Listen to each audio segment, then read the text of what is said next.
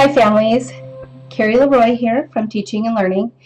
We are moving and shaking here and in fact today I'm filming from my office. Now hopefully Monday or Tuesday you had a chance to pick up your student's tech tote with their new Chromebook in it that they'll be using this year. Please make sure your student uses this whenever they are on distance learning. We need students to use our district issued Chromebooks because we have all the programs set up and if there needs to be an update we can do that at the district level. So no personal devices for distance learning, please.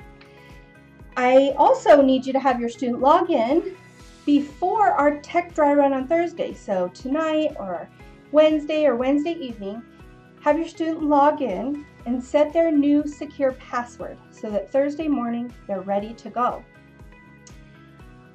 Our times for our tech dry runs are going to be at 8 a.m. for first and second graders, 9.30 a.m. for third, fourth, and fifth graders, and then 9 a.m. for all 6th through 12th graders. And 6th through 12th graders are going to sign in with their first period teacher for this initial tech dry run. I have a feeling you're on information overload. I get it, but we're just getting to the fun stuff. So once your student has gotten their Chromebook, you will need to connect to the Wi-Fi. Whatever Wi-Fi you have, you're going to want to click on the little upside down triangle in the bottom and then go ahead and get on your Wi-Fi with your password. If you're using a hotspot from us at the district, the Chromebooks will uh, link automatically. You don't have to worry about that.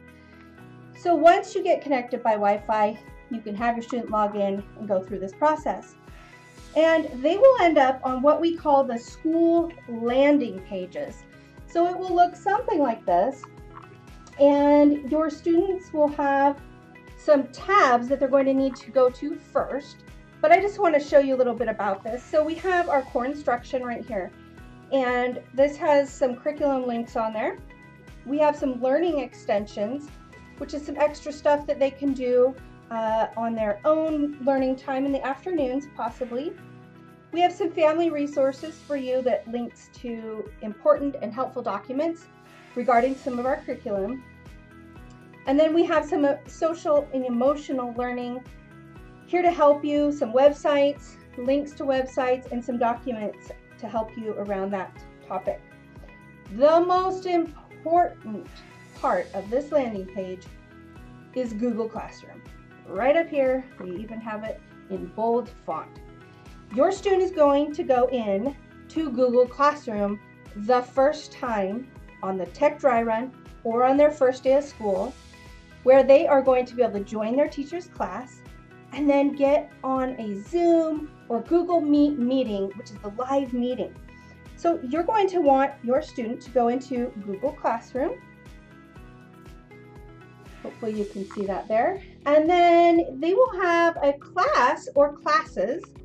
And all you need to do is have them click join. And then they will be in their new virtual learning classroom. On the first day and on the Tech Dry Run, teachers are all going to post a link to their Zoom or Google Meets sessions. So these are virtual meetings for their synchronous lesson times. And you have probably heard the term synchronous and asynchronous and wondered what they mean. So think of it like this. Synchronous means in sync with your teacher. They're live with their teacher. And then asynchronous is doing lessons at a later time without the teacher live teaching to them. Now, we're going to find the very top stream message right there. And in this class that I made up, it says live lesson link. Please click to join our first virtual meeting. And there will be either a Zoom or Google Meet links. Those are just companies that host live meetings. And your teacher might have a different message in there, but they're all going to have that blue hyperlink. And their student needs to click on that to join that. The first time they get into Zoom, I do have to tell you, you need to add it to the Chromebook. Was just a very quick, easy steps. So it says on here install from Chrome Web Store on this button. So you're going to click that. And then it says Chrome Web Store, Zoom. Over here is a blue button that says add to Chrome. Go ahead and click that.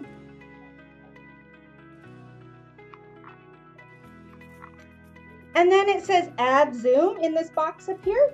And you want to say add app. Don't hit cancel. Add the app. And it's doing its thing. It's thinking. And now it opened up. We did it. Just a few clicks and you're in. Here's another important step. Your student is going to need to type in their first and last name. This is going to be the display name on their Zoom or uh, caption, and so you're going to need to have it accurate. This is how teachers are going to know who's joining their class, and then also how they're going to take attendance.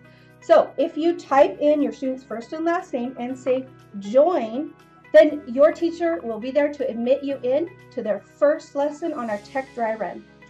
Again, please reach out to me or to your student school if you have any questions. We're all in this together.